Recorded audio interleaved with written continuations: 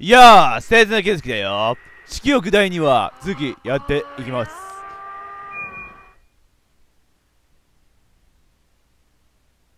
さて、えー、っと、探索だ。学校に来たぞ。妹を外に置いて学校に来たぞ。あ、そうだ。前回のパート、あれやな。紙コップもらったけど、これ結局何なんなの赤い井戸電話。ルナが発明したね 本当にルナ博士みたいになったね。ルナが発明した赤い色電話。今、ルナが聞いている気がする。思い少しだろうか。やばい。若干ヤンデレみたいな感じになってるんじゃないの ストーカーみたいな感じになってるんじゃないのこれ。ふふふ、お兄ちゃんの吐息がする。ふふふ。わあてるくん気をつけろ。妹はストーカー化してるぞ、お前。ストーカーの素質があるぞ、お前。怖い怖い。あっとかやや言ったら女の子が、うっおっと、夢に入ったか。前作もこんな感じで夢入ったよな。今の感覚は、夢に入ったな。ここからは例の記憶に沿って作られた場所。普段の学校とは違うところがあるはずだ。北にキヤコだったっけ？北にキヤコ。彼女が夢を作り出した例なのか？それはまだわからないが。彼女の死と関連するものを探そう。彼女と死と。彼女と死、屋上から転落死したやろ？写真部に所属。写真部 ちょっと待って。前回のパートで写真と言ったらもしかしてキヤコさんだったりする。キヤコさんの知り合いだったりする。ちょっと待って。え、マジか前回のパートで写真部がどうのこうの言ったマジか繋がってきた。なんか知らんけど俺の会話と繋がってきた。屋上に鍵がかかっと、鍵か。まさか今も鍵かかっとんかな霊を説得できれば、この夢は消える。さて。どこへ向かう？お、選択肢あるんだよ、これも。それ普通に考えりゃさ、屋上から飛び降り自殺したんやけど、屋上に行くよな。あ、でも待てよ。だからこそ、先になんか準備済ましてってパターンもあるけど、屋上行くか。よっしゃ、とりあえず行ってみようぜ。現場検証じゃ。もう警察官の気分じゃ、捜査官の気分じゃ、もう、ほら。女子生徒の霊は屋上から飛び降りていた。もし死ぬ直前の行動を繰り返してるんだとしたら、死ぬ前に何かを残しているかもしれない。屋上へ行ってみよう。衣装とかあるかもしれんな。よっしゃー屋上じゃあ。できればさ、カットみたいな感じでさ、飛んで、おっと、なんか始まった。まだカメラ目線やったね、ちょっと。テレクちょっとカメラ目線気に入ったのかなもしかしたらまた写真部が撮ってるかもしれないとちょっと思い始めたのかな あ？外？赤？っ外赤空が赤い赤く、ほん、これは本当に赤くない、本当は赤くないよみたいな感じだったら テルクの12秒で終わるんやけどな。本当に赤いんだよな。北にキヤコ。彼女が本当に夢を作り出したのか。だとしたら、なぜ今になって夢を作り出したんだ ?2 年経ったもんな。前作でもさ、2人の夢が重なっとったみたいな感じになっとったもんな。おっと、影が映ってるね。でもこういう影は大体驚かしい要素だけんな。ちょっとビビらしてきとるだけやけんな。おっ物音どうする？オープンゼットああ花飾られとる北にキヤコがおったクラスってことか？これ。なんだこの教室。机が一つに菊の花が飾られている。でも他には何もなさそうだな。先を急ごう。調べろ。おーい!おるよペルクおるよもしかして北にキヤコさんか今。花飾られとったところに置いてあるってことは十中八九北にキヤコさんね今。よし3階まで上がろう。構造が変わっていなければ屋上へは3階の奥の階段から上がれるはずだ。行ってみよう。よっしゃまだな、もう怒らんな。これといった、なんか事件的なもん、ちょっとイベント的なもんはな、驚かしい要素はちょっと起こったけど、トイレがあるね。うーみたいな感じで出てきそうなもんやけどな、そろそろ。鍵をすっとんよな。あ、ちょっと写真撮ったちょっと写真撮られたよ、てるくん。気づいて。カメラ目線になって。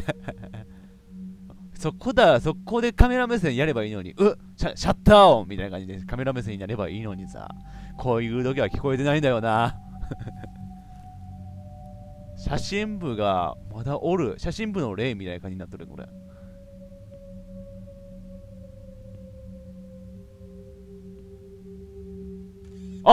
あ待て影の前でバシって言うんだ。ってことは北にキヤ子自身か、これ影。この影、北にキヤ子で、北にキヤ子が写真を撮ってますよみたいな感じになったん？そういうことになる？死んでなお写真を撮り続けるような写真部スピリッツが残っとんじゃ。はあ。趣味なんやな。屋上はこの上だ。おい真っ赤っか真っ赤っか真っ赤っかの真っ赤っか鍵がかかっている。やっぱりか。ああやっぱりかやな。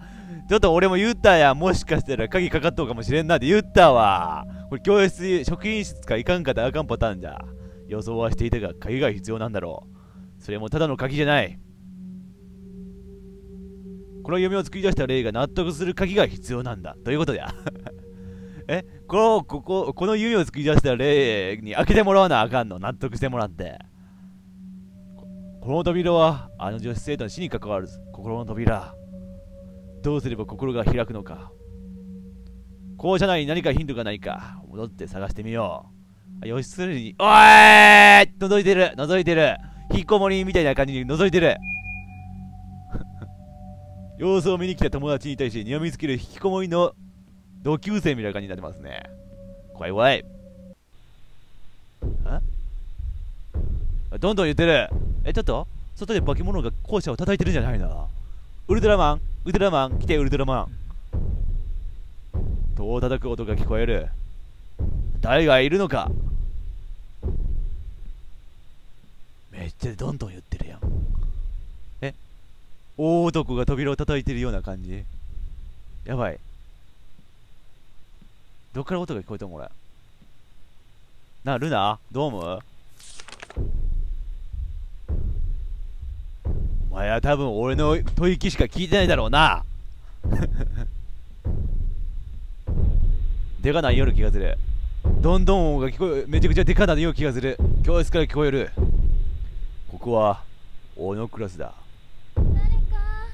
誰だよ？聞き覚えのある声だ。うーん。ま、いっか。帰ろう。誰かほっとくのまずいかなどうしようかなさらば友よ。誰か 誰かって言いながらさ、ここだけで、ち、はよ来いや、ボケみたいな感じで思っとるだろうこと。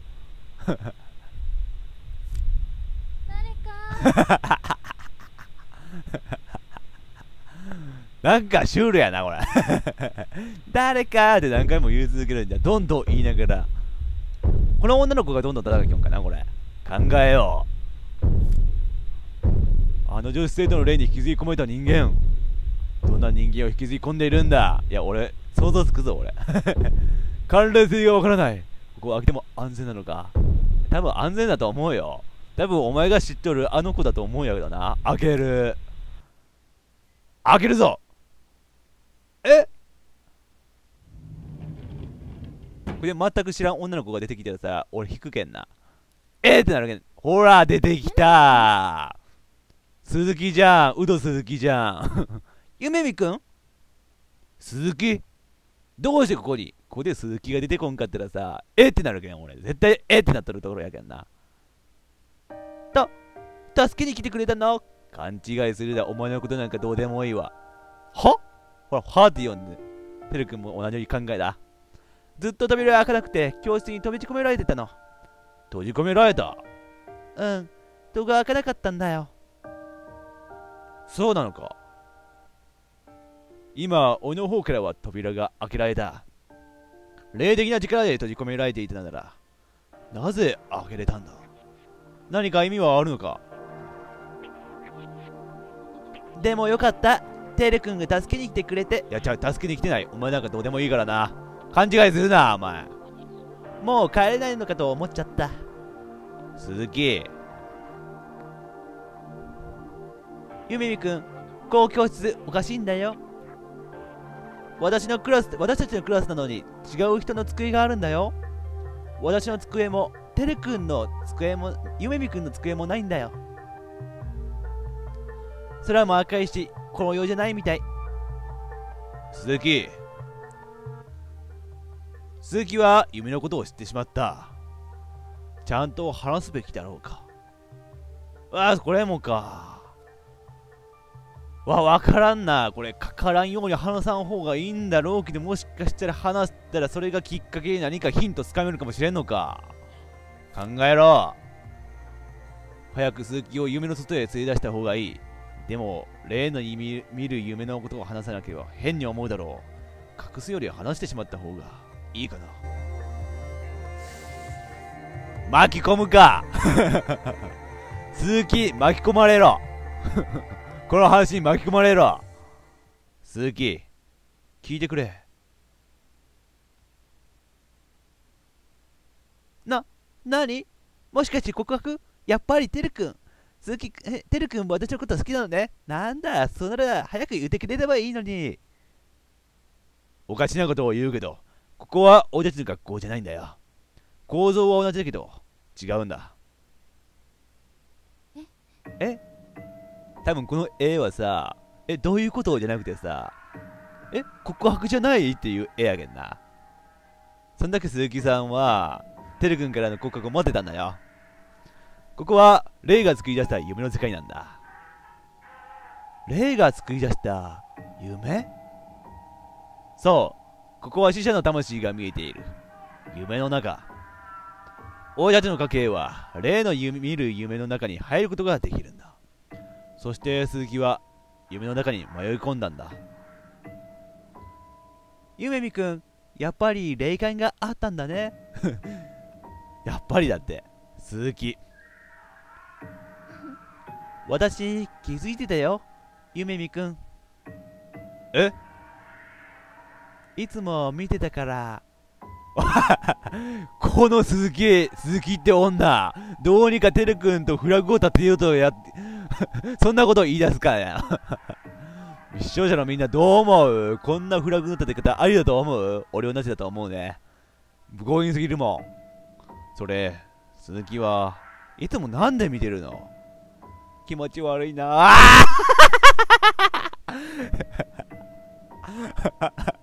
ちょっと鈴木言っちゃはちょっとひどいかもしれんけどさ、ちょっと気持ち悪くなった。さらに気持ち悪くなった。なんなんその笑い方。ちょっと不気味。だってゆめみくんいつも何か隠してるじゃない隠し事してる人って気になるよえ、てるくんだからじゃなくて？ねえ、てるくんじゃ、てるくんだからじゃなくてか？なあ。それは。そ、そっか。偶然だけど、鈴木に会えてよかった。一緒にこの夢から出よう。うんちょっと捉えた。もうカメラ目線とか、そういうレベルの問題じゃないです。鈴木レミを夢の外まで送ることになりました。これさ、例の話説明せんかったらどんな展開になるんだろうな。ちょっと気になるね、視聴者さん。もしこのままゲームクリアしたとしても、もしかしたらさおまけでちょっとやりたいかもしれんレベルや。そう思わん鈴木、早く、学校の外に出よう。うんあ、これ見て、ちょっと、待てよ。ストーカーのルナせ、ルナ、ルナ博士はどう思うことなんだろうな、これ見て。あ、バレてないわ。よかった、バレてないわ。女の子と二人で一緒におることバレてないわ。ル、ルナ博士が見たらムキーってなりそうなところに来て、お兄ちゃんに触れるなみたいな感じで。だって前回の第1話の時やってさあのノエちゃんにメンチ切ったもんなゆめみくんちょっとトイレ寄っていい？我慢してたのえ別にいいけどちょっとそういう卑猥路線でてるくんをちょっと ちょ表遊ばん表遊ぶんやめてくれん？じゃあその顔やめなさい。その顔俺嫌い。俺その顔嫌い。えへ待っててね。やばい。何かが起こりそうな予感がする。今のうちにルナと話しておこう。カーンって音鳴るところなんか今。これ格好悪いな。そうやな。写真部だったらスクープとしてこの瞬間を撮りたいところやけんな。残念。何組の夢見てるくんが変なポーズをとってました。載るな学校の新聞に。続き見られる前に終わらせたい。ルナ聞こえるか？聞こえるよお兄ちゃん。生存者がいたから一度指の外に出るよ。その生存者って女の人？そこ聞いてくるか。さすがだな。おーい！え？いや一番のホラーこの子じゃないのか？そうだけど？ふーんそっけー。はははははは気をつけてね。お兄ちゃん。ああやばい。その気をつけてねってさその鬼お、ね、女の人のことを私殺しちゃうかもって意味で言ったんじゃないだろうな。怖いわ。この子怖いわ。え今ルナ何か怒ってた？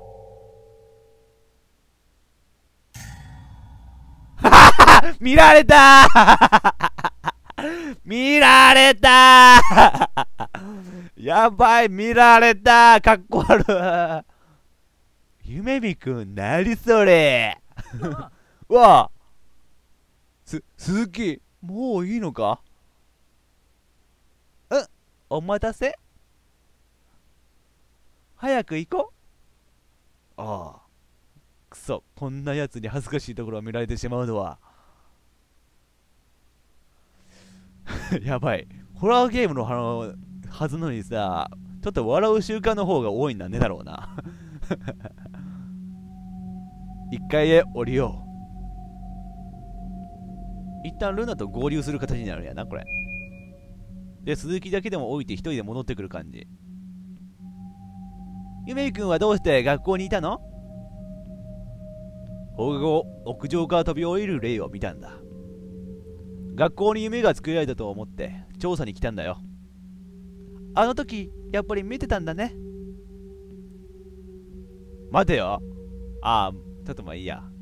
鈴木が引きずり込まれた理由も気になるな。何か聞いてみようか。ああどうしようかな。直境に誰かに会ったでもいいんかな。学校にいた理由も気になるけど。うん。まあ学校にいた理由かな。鈴木はどうして学校にいたんだ？忘れ物しちゃって取りに帰ったんだよ。忘れ物？うん。でもさっきの教室にはなかったの。大事なものなのか？うん。見られちゃうとちょっと恥ずかしいかな。なんだ？なんかいやらしいアイテムがあるのがいやらしいものがなんかやばいいやらしいものがあるのがお前。明日学校で探してみるね。おいおいおい。何を忘れたんだ？ああ結局聞くんだよこれ。誰かに会った？鈴木この学校で他の誰かに会った？ううん。誰にも。あの女子生徒の例には会っていないのか。いやてるくん結構写真撮られよったよ君のこと。あそっか。私以外にもここに迷い込んだ人がいるかもしれないんだね。そうだけど鈴木は心配しなくていいよ。ゆめみくんはそういう人たちを助けているんだね。偉いな。おうさらに。誰かに会ったって今言うたな。聞いたあ選択肢 2, 3つ目が出てきたんだよこれ。あ聞くかそれ。北にキヤコって知ってるって聞くかそれ。あでも知ってそうだな。もしかしたら他のところに。てか鈴木からこの話聞いたんやけん。知ってるで知っとるもんじゃない。ん鈴木？北にキヤコって知ってる？ゆめみくんそれって？え？やっぱり知っとんじゃ。今日話してた死んじゃった女の子の名前だよ。あの振られたら死ぬって言ってた？そうだよ。私たちが入学する前に飛び降り自殺しちゃった。女子生徒。鈴木これはバンジージャンプに失敗した時だよ。北にキャコさんって言うんだよ。俺この学校で飛び降り自殺があったなんて知らなかったよ。私も入学してから知ったんだよ。北にキャコさんの事件って一部のマスコミでしか報道されなかったんだって。はあそれはどうして？え？ひやこさんはある生徒に告白したんだって。だけど振られてそのショックで屋上から飛び降りちゃったんだって。あ違う鈴木。多分そのショックをさ紛らわそうと部活に勤しんだ結果失敗してしまったんだろうな。違うぞ鈴木。ちょっとだけ。バンジージャンプ部だぞ彼女は。でもその時の風潮っていうのかな。相手の生徒を傷つけないようにって大きく報道されるのを避けたみたい。あ振られた振られたショックで自殺しただったらやっぱ振った方もちょっとちょっと傷つく感じかな。そういうことか。みんなキヤコさんの事件を忘れるようになったんだって。そうだったのか。なんか恨んでそうやな、キヤコさんの方。だからこういう夢を作ってたんだ、みたいな。私のことをそんな感じで終わらせるの？みたいな感じ。それから、振られたら死ぬっていう噂が女子の間で流行ったみたい。キヤコさんの事件を曲がった形で噂話しちゃったんだよね。女子ってそういうの好きだから、お前も女子だろ ひどい話だな。でも、どうしてキヤコさんのことを聞くの？まさか、そのお礼がキヤコさんなの？でも写真部って言おったもんな。そう考えたら、いや待てよ。キヤコさんとあの写真部の部活の方で因縁があった人物がおるかもしれんのか。でも今の時点だったらキヤコが例と思うんが一番強いよな。でも考えとこう。北にキヤコが学校に現れた例である可能性。屋上から飛び降りた生徒だということ。そして学校への恨み。自分の死を忘れさせ忘れさせるように仕組み向けた学校に復讐心を持っていたのかもしれない。そして学校へ通う人々に復讐を考えているのでは。難しいなそこまでキヤコさんが悪い人かっつったらさ、まだ情報足らんよな。復讐心もしから持ってないかもしれんしさ。北にキヤコ、みんなに忘れられた女子生徒か。黒学校で自殺した女子生徒。そして自分の死を忘れられ、学校を恨んだのだとしたら、北にキヤコで決まりだろう。でもなんか引っかかるんよな、俺は。なんかもう一人ぐらい出てきそうな気がするんよな、関係しとる人物が。俺はな、北にや子だろうな。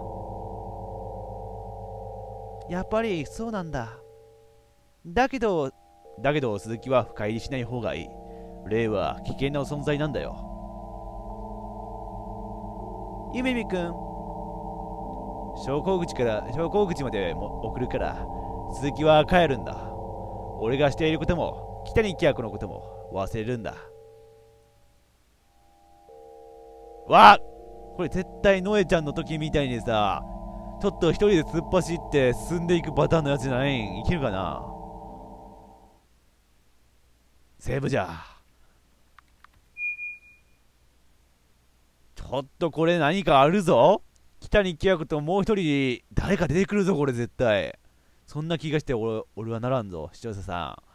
気になるわ。というわけで、皆さんも気になるんだったら次のパートもよろしくお願いします。というわけで、皆さん、週上げ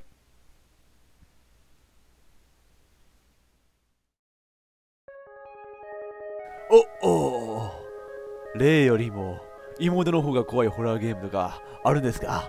やばい。ヤンデレってここまで来たら、えげつないほど恐怖心が増しますね。テレ君の将来大丈夫か？なあ。